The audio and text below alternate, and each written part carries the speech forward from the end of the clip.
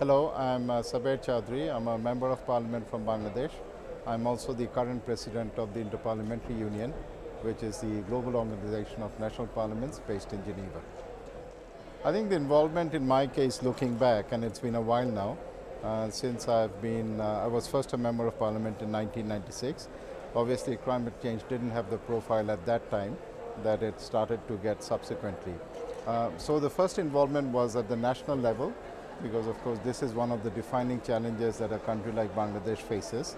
And then I attended uh, the COP meeting in Denmark, uh, in Copenhagen, uh, COP 15.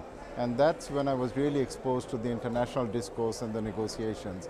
So since then, the involvement has deepened, and I've also tried to take it to the Interparliamentary Union, uh, which now has a very high profile as far as this particular agenda is concerned.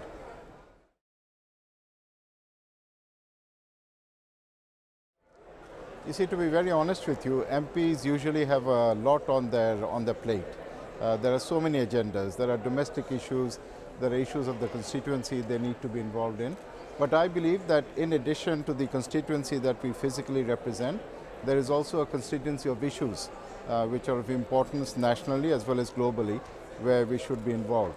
And uh, if you look at climate change, so whether it is uh, food security, whether it is desertification, whether it is rising sea levels, salinity intrusion, uh, changes in pattern of rainfall, uh, these are all captured by climate change.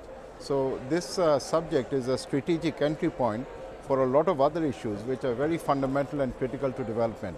So I think if an MP wants to have like a quick path to the whole development challenges uh, that are in front of him, this is the perfect place. And of course, if we look at uh, Bangladesh itself, the magnitude of the impacts of climate change is huge. Just a one meter rise in sea level will lead to a displacement of 30 million people who are the poorest of the poor and that is based on the population today.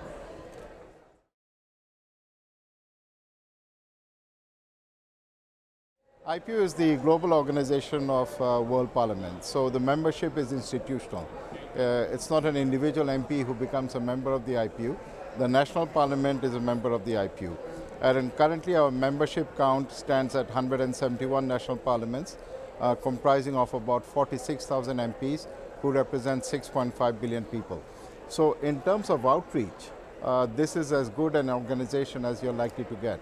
And I think if you look at the functions of a member of parliament, whether it is in terms of uh, legislation, in terms of appropriation of resources through the budgetary process, policy coherence, oversight of government activities, um, the role of parliamentarians is absolutely critical uh, to the implementation of the Paris Accord, uh, the Paris Agreement rather. And also, of course, the whole issue of national ownership. Um, unless um, national parliaments and the country as a whole embraces the Paris Agreement, this is never going to be implemented. And MPs, by virtue of the fact that they represent the people, are perfectly positioned to play this very important role.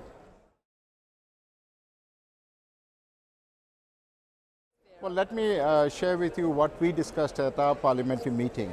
Um, we talked about legislation uh, that is actually going to look at the NDCs, whether that can be brought into law. I think that's very important.